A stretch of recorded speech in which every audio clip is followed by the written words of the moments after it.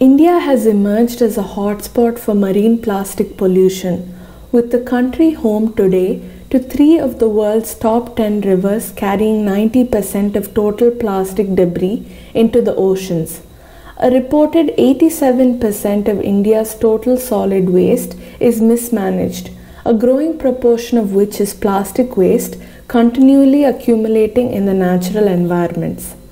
The situational analysis of plastic waste management in India is an analytical research study conducted across five landscapes to understand the existing state of affairs.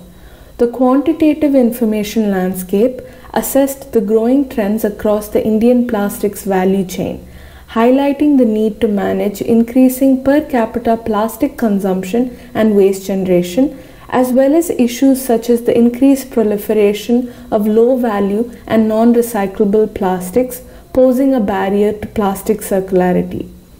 The technology landscape identified and assessed the various practiced and piloted technologies applied in India to manage end of life plastic waste. Mechanical recycling by the informal sector is widely utilized while there is a high loss of plastic left unrecycled and either dumped or landfilled. The business and operation landscape identified and assessed current modes of operation in Indian plastic waste collection and recycling, with public private partnerships gaining increased preference and utilization to increase efficiency while integrating the informal sector.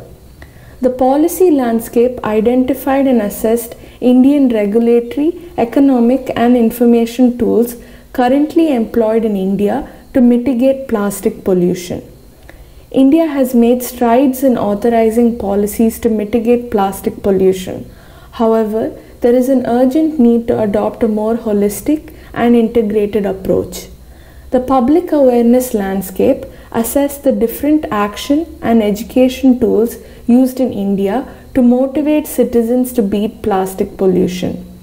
Through data collection at the study site and by conducting expert interviews, knowledge gaps were filled.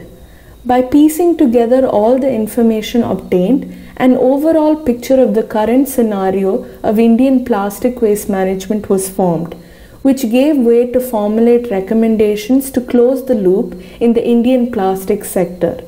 A circular plastics economy is essential for India's sustainable development to increase human development index, protect its diverse ecosystems and to foster a blue economy.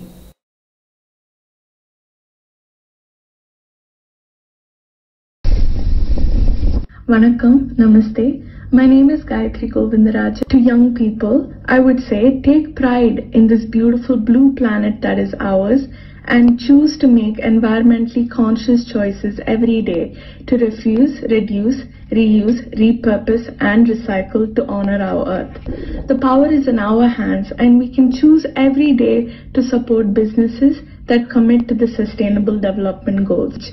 That proper disposal of waste is a responsibility that we all have to beat plastic pollution.